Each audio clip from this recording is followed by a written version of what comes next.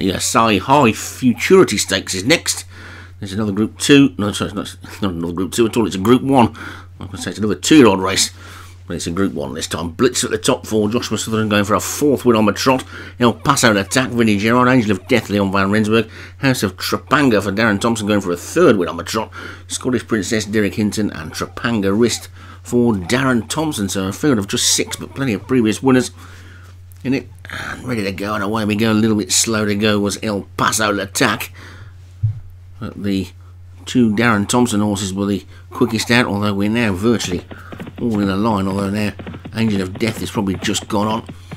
And Angel of Death now has taken the race by the scruff of the neck and has decided to set the pace to the race. El Paso attack for Vinnie Gerard is second. Maybe his jockeys have been given different instructions to last week, but they all seem to come with a late rattle that was just that little bit too late and they never quite got there. This time I was taking much closer order than usual, but it's Angel of Death in front. El Paso attack second, Blitzer is third, then Scottish Princess is four. The two Darren Thompson horses, the two Trapanga horses, House of and Risk are the back two, but it's Angel of Death who's clearing the lead by four lengths to El Paso attack and Blitzer. Then Scottish Princess is going to try and get up the inside. House of Trapanga and Trapanga Risk are probably going to try and challenge around the outside, but at the moment Angel of Death is clear and comfortably in front by a good three lengths to El Paso attack in second. Blitzer Uh, on the inside of that one. Scottish Princess is just beginning to drop back a little bit as the Darren Thompson pair go past, but Angel of Death is now being joined by Blitzer and El Paso Let's attack. Here comes House of Trapanga around the outside, two furlongs to go, and Angel of Death kicks on for home. Blitzer immediately goes with him. House of Trapanga's trying to get going. El Paso attack is now in overdrive. Has fallen with a big chance at the moment. Still trying to run on his Trapanga Risk. There's a furlong to go, and it's Angel of Death from Blitzer. Blitzer just about hit the front. Here comes El Paso attack. Blitzer and El Paso attack then from House of Trapanga. Blitzer and El Paso attack in a ding dong as they race up towards line. Pick them whatever you like. Pick whichever one you like out of that two. I'm not sure. Hang on, I'd probably give it to the one on the far side.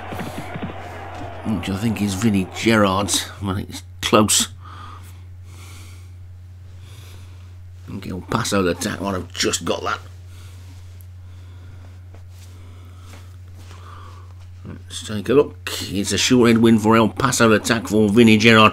Blitzer second for Joshua Sutherland. House of Trapanga for Darren Thompson was third, and Trapanga Risk for Darren Thompson again was fourth, with Angel of Death for Leon Van Rensburg in fifth.